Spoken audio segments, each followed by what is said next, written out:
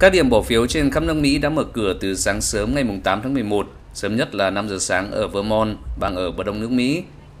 Các cử tri bỏ phiếu thông qua hình thức trực tiếp hoặc qua bưu điện và gần một nửa số bang ở Mỹ cho phép người dân đăng ký và bỏ phiếu ngay trong ngày bầu cử.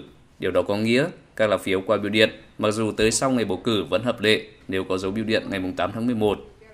Cuộc bầu cử năm nay có ý nghĩa khá quan trọng khi sẽ quyết định cán cân quyền lực giữa hai đảng trong Quốc hội, qua đó định hình đường lối, chính sách của Mỹ trong hai năm tới. Tôi cho rằng cuộc bầu cử năm nay rất gây tranh cãi, đặc biệt khi từng có những phát ngôn rằng cuộc bầu cử năm 2020 bị đánh cắp.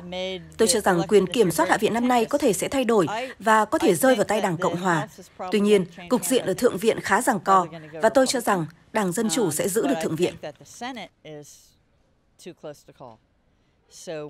So the Democrats may actually hang on to the Senate. Well, I'll tell you that my hope for this year's election Tôi hy vọng người dân sẽ bầu ra được những người có trách nhiệm, hiểu hiến pháp và luật pháp và làm những điều đúng đắn cho người dân Mỹ thay vì chính trị đảng phái.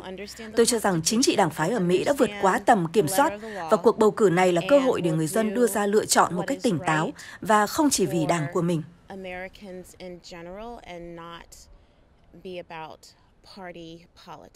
Cuộc bầu cử giữa kỳ năm nay sẽ bầu lại tất cả 435 ghế hạ nghị sĩ, 35 trên tổng số 100 ghế thượng nghị sĩ và 36 thống đốc bang và hàng loạt các quan chức chính quyền địa phương. Công tác kiểm phiếu sẽ được tiến hành ngay sau khi các điểm bỏ phiếu đóng cửa. Tuy nhiên, do chênh lệch về thời gian và các quy định về kiểm phiếu ở các bang khác nhau, kết quả bỏ phiếu ở các bang sẽ không được công bố cùng lúc mà thậm chí có thể kéo dài sang vài ngày sau đó. Rất nhiều cuộc khảo sát và mô hình dự báo đã được thực hiện trong thời gian qua nhưng ờ, không ai có thể xác định được chính xác đảng nào sẽ giành thắng lợi trong từng cuộc đua cụ thể.